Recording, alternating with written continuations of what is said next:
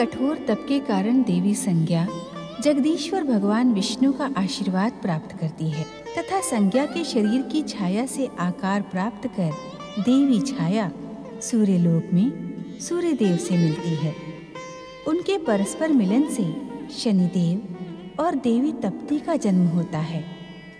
वे दोनों आरंभ से ही अपने पिता सूर्य को अपना शत्रु समझते हैं, तथा माता छाया के साथ सूर्यलोक का त्याग कर देते हैं। शनिलोक के कष्टपूर्ण वातावरण को देख छाया शनि का भी त्याग कर देती है। इस दुख से दुखी, तप्ती की आँख से बहते अश्रु नदी का रूप धारण कर तृप्ति नदी के रूप में पृथ्वीवासियों का कल्याण करते हैं। देवी छाया अश्विनी संज्ञा में विलीन हो जाती है। अश्विन रूपी संज्ञा के जप से प्रसन्न सूर्यदेव संज्ञा के प्रेम मिलन को स्वीकार करते हैं। इस प्रकार देवी पार्वती को महादेव से सूर्य शनि के द्वेष की कथा का ज्ञान होता है। उधर शनिदेव का प्रोत्साहन पाकर दैत्य गुरु शुक्राचार्य ने पाताल के अंधकार में अचेत पड़ी असुर जाति को पुनः जागृत किया। आसुरी शक्ति की प्रतीक स्याह शक्ति को लेकर शनिदेव वैकुंठ की ओर प्रस्थान करते हैं।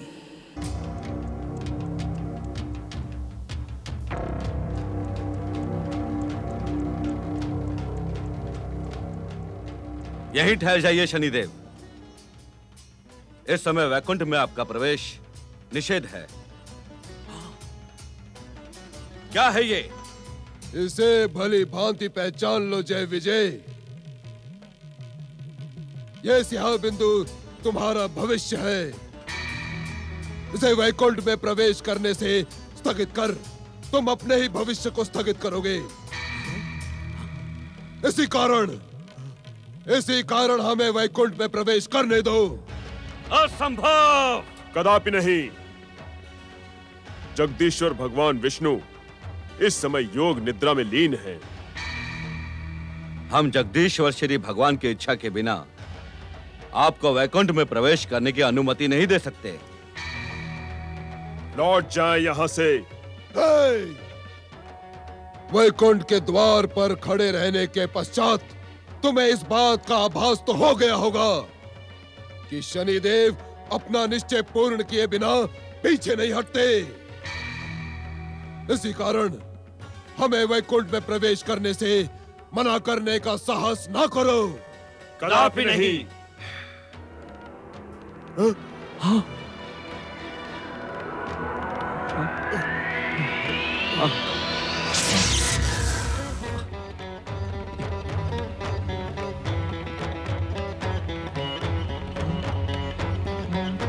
उस शाप का स्मरण करो जय विजय। जो वैकुंठ के महासम्मेलन के अवसर पर, विष्णु के अंश अवतार संकातिक बाल योगियों ने तुम्हें दिया था।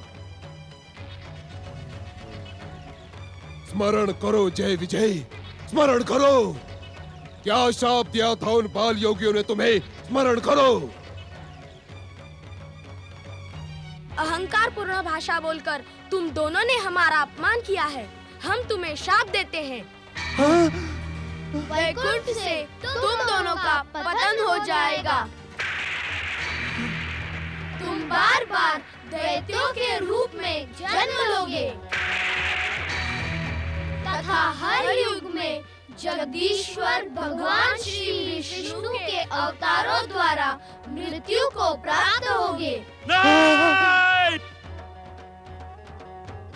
तुम वैकुंठ के द्वार से पतित होकर दैत्य बनने के लिए विष्णु के अंश अवतारों द्वारा शापित हो चुके हो। तुम इस बिंदु का परिचय ज्ञात करने के इच्छुक थे ना? तो सुनो, असुरी शक्ति के प्रतीक इस बिंदु को मैं तुम दोनों के हित के लिए ही वैकुंठ में प्रवेश कराने का इच्छुक हूँ कि जब तुम दोनों दैत्य बनो तो तुम विष्णु द्वारा पीड़ित न हो। तुम्हारी परम शक्ति विष्णु के सम्मुख पराजित न हो। हर मनवंतर में असुरी जाति की संगठित शक्ति से दैत्य जाति जन्म लेती है। और तुम दोनों दैत्य जाति के भविष्य के सूत्रधार हो।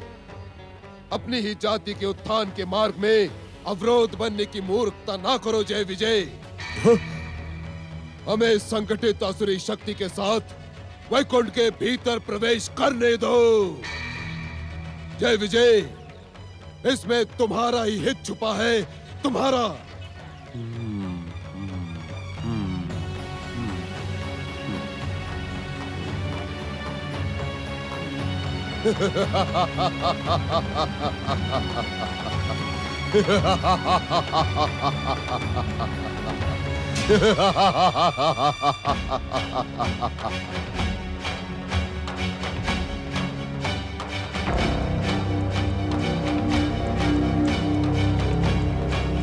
पुत्र शनिदेव अपने आप को कलंकित करने वाले ऐसे दुस्साहस पूर्ण कार्य करो। आपको मेरे उस प्रतिज्ञा का स्मरण है ना सूर्यदेव?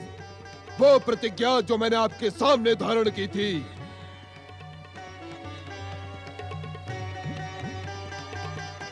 अपमानित होकर जीवित रहने से तो उचित है। मृत्यु को स्वीकार कर लेना। जगदीश्वर भगवान विष्णु के अमोघ अस्त्र के सम्मुख आज तुम दोनों का भयानक अपमान हुआ है। सूर्यदेव मैं इस अपमान का प्रतिशोध लेकर ही रहूँगा। अपमान की धधकती हुई ज्वाला में जलते हुए शनि की प्रतिज्ञा भी सुन ले कि समय आने पर मैं विष्णु का इतना ही घोर अपमान करूँगा, जिससे विष्णु सारे संसार में कलंकित हो जाएगा। आज जगदीश्वर विष्णु से अपने अपमान का प्रतिशोध लेने का अवसर आ गया है। नहीं शनि नहीं। मैं तुम्हें कुकृत्य करने का अवसर कदापि नहीं दूँगा। सूर्यदेव आज आप तो क्या? आपके जगदीश्वर विष्णु भी मुझे नहीं रोक पाएँगे।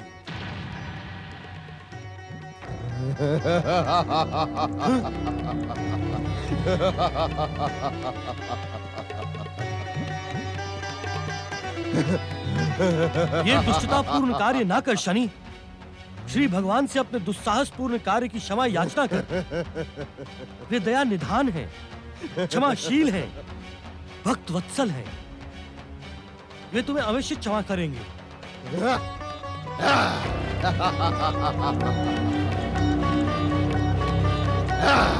मैं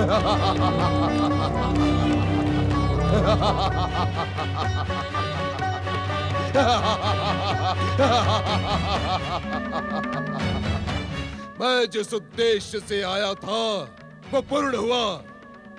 ये मेरी भयानक विध्वंसक प्रतिज्ञा का प्रारंभ है। मैं आपको भी चेतावनी देता हूँ, सूर्यदेव, कि भविष्य में यदि कभी भी आपने मेरे मार्ग में आने का दुस्साहस किया तो परिणाम आपके हित में ना होगा।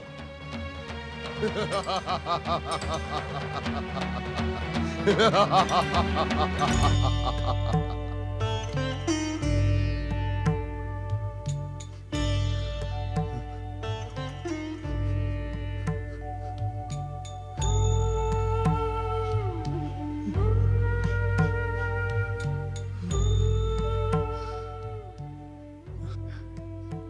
क्षमा करें जगदीश्वर। अपने पुत्र के कुकृत्य के विरुद्ध आज न जाने क्यों मेरा प्रहार असफल हुआ। हे भगवान, दीनानाथ,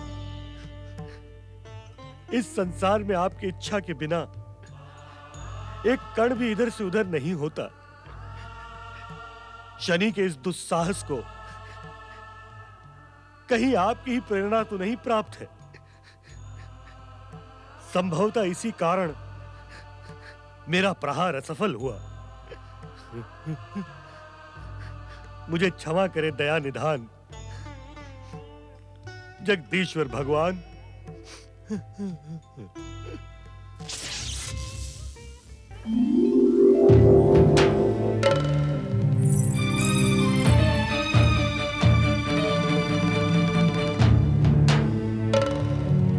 जागे प्रभु।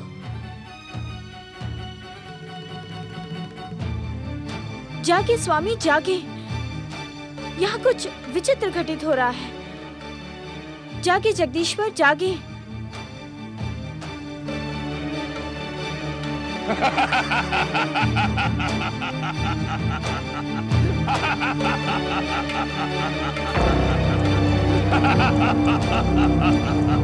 Ha ha ha ha!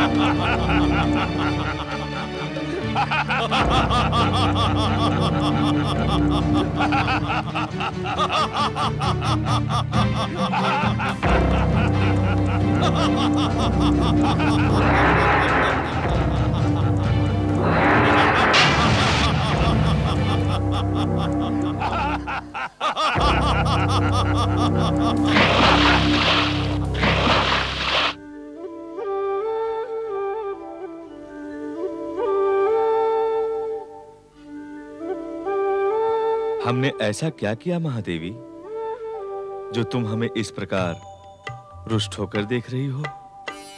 इस संसार में जगदीश्वर श्री भगवान की लीला को समझ पाना अत्यंत कठिन है।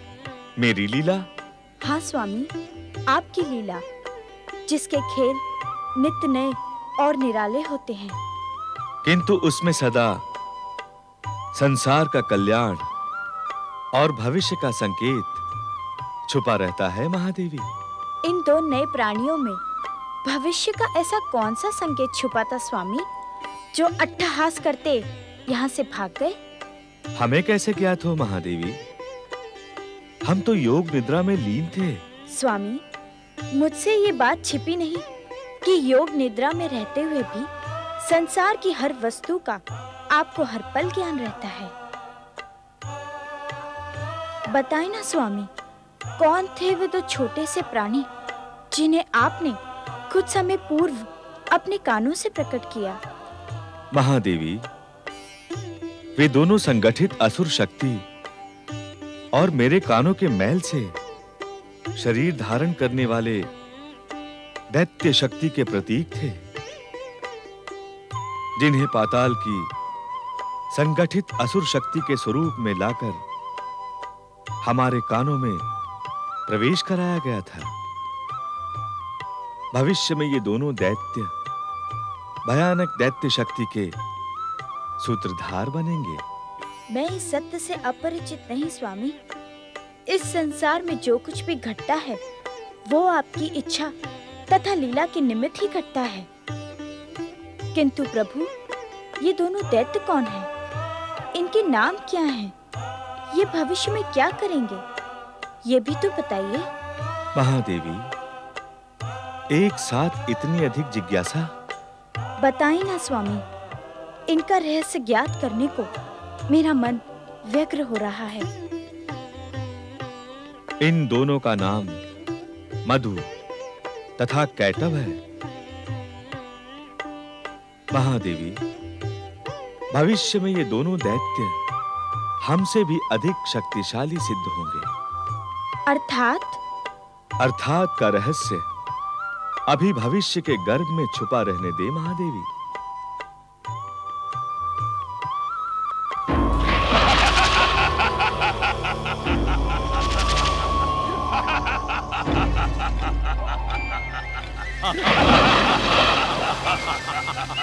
Ha ha ha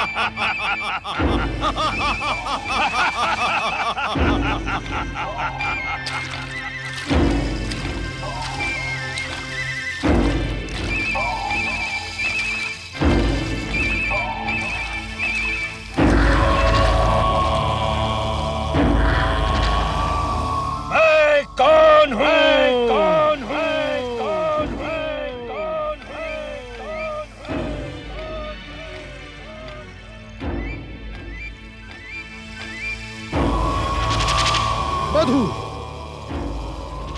मधु मधु मधु मधु मधु मधु मधु मधु मधु।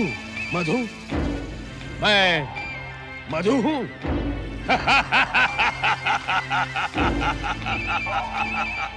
मैं कौन हूँ?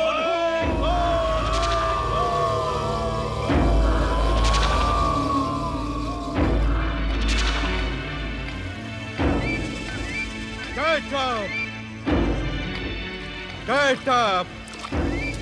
Guard up! Guard up! Guard up! अरे कैटब हो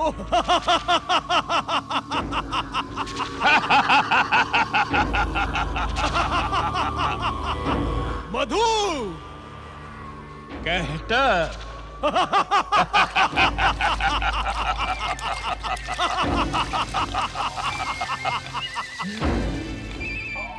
हमें क्यों शरीर प्राप्त हुआ है?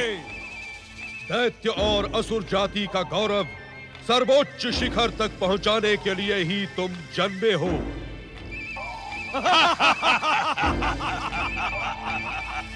दैत्य जाति असुर जाति सर्वोच्च शिखर। क्या हम असुर और दैत्य जाति का गौरव सर्वोच्च शिखर तक पहुँचा सकेंगे। इच्छा होने पर तुम कुछ भी कर सकोगे।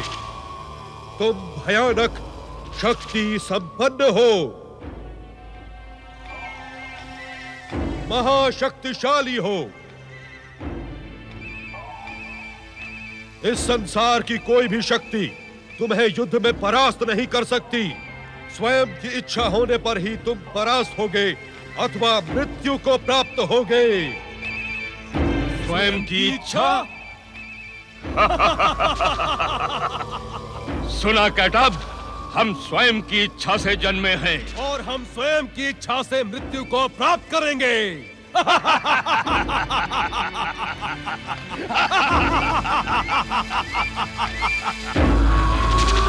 हम मृत्यु की इच्छा करेंगे ही नहीं।